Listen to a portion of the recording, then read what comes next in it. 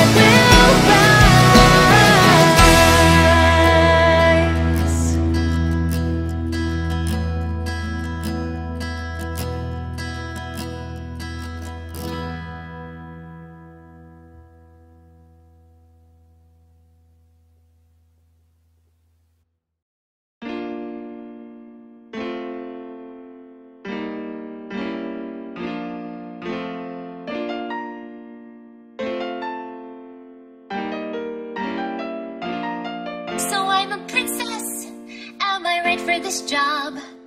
I guess it all depends. I've got my pros and cons, but why they choose me? They could have picked literally any of my friends. They also have their strengths